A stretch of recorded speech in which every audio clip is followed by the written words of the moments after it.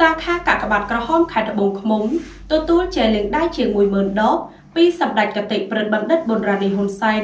ដើម្បីបន្តយុទ្ធនាការប្រយុទ្ធនឹងជំងឺ Covid-19 រសៀលថ្ងៃទី14ខែធ្នូឆ្នាំ2021អាយុដំបណ្ឌិតជាមច័ន្ទសោភ័ណ្ឌ អភិបាលខេត្តនិងជាប្រធានគណៈកម្មាធិការសាខាកាកបាទក្រហមខេត្តត្បូងឃ្មុំបានអញ្ជើញទទួលចែលាងដៃចំនួន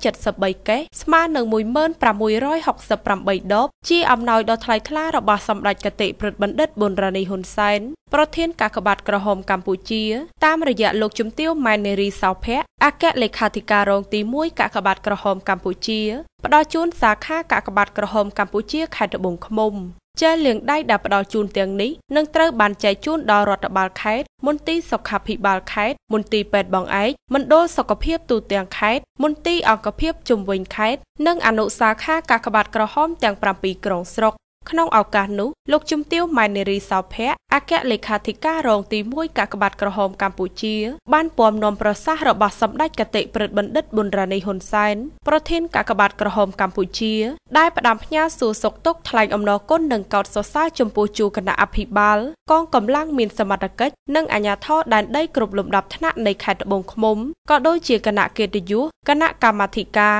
មន្ត្រី បុគ្គលិកយុវជន និងអ្នកស្ម័គ្រចិត្តទាំងអស់នៃសាខាកាកបាទក្រហមកម្ពុជាខេត្តជាពិសេសក្រុមគ្រូពេទ្យជួរមុខទាំងអស់ដែលបានលះបង់យ៉ាងធំធេងក្នុងការចូលរួមទទួលខុសត្រូវទប់ស្កាត់ការចម្លងវីរុស COVID-19 លោកជំទាវបន្តថាស្របពេលដែលកាកបាទក្រហមកម្ពុជាទទួលបានការឧបត្ថម្ភចែកលាងដៃ ពីក្រុមហ៊ុនហ៊ុនយ៉ាហឺចុង Cambodia Trading Eco ជំហានទី1ចំនួន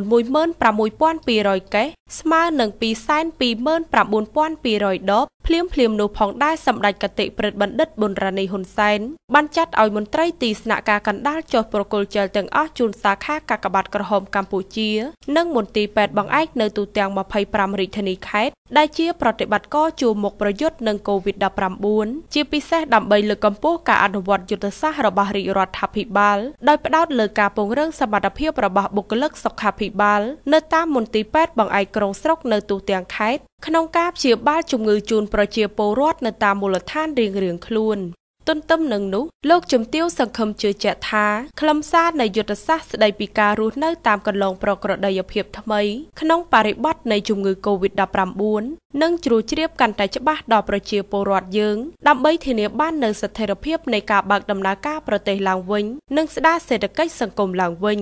មានប្រសាសន៍ในឱកាសនោះអាយុដំបណ្ឌិតជាមច័ន្ទសោភ័ណ្ឌប្រធានគណៈកម្មាធិការសាខាកាកបាទក្រហមកម្ពុជាខេត្តត្បូងឃ្មុំ ក៏បានថ្លែងអំណរគុណយ៉ាងជ្រាលជ្រៅចំពោះសម្ដេចកតិព្រឹទ្ធបណ្ឌិតប៊ុនរ៉ានីហ៊ុនសែនប្រធានកាកបាទក្រហមកម្ពុជា ដែលតែងតែបានគាំទ្រនៅសកម្មភាពមនុស្សធម៌របស់សាខា ជាពិសេសសម្ដេចកតិព្រឹទ្ធបណ្ឌិតប៊ុនរ៉ានីហ៊ុនសែនតែងតែយកចិត្តទុកដាក់គិតគូរពីសុខភាពនិងសុខទុក្ខរបស់ប្រជាពលរដ្ឋជាពិសេសការផ្ដល់ចែលលាងដៃនាពេលនេះពិតជាមានសារៈសំខាន់សម្រាប់មន្ត្រីតាមគោលដៅក្នុងការរួមចំណែកទប់ស្កាត់ការចម្លងវីរុស COVID-19 នៅតាមមូលដ្ឋាននានាក្នុងការជួយទំនប់បំរុងថវិកាសម្ភារៈយ៉ាងច្រើនសន្ធឹកសន្ធាប់ក្នុងអំឡុងពេលនៃការប្រយុទ្ធជាមួយជំងឺ COVID-19 កន្លងមកឲ្យមានប្រសិទ្ធភាព។